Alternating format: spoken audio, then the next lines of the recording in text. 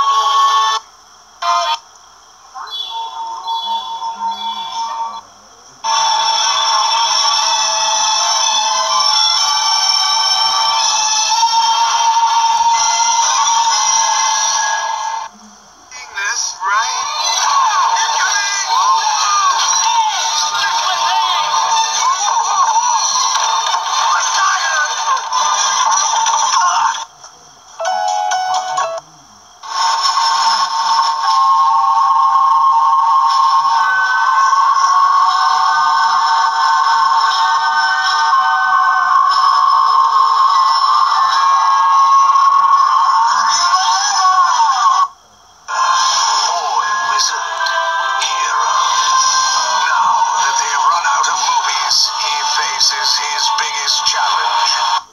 We're so.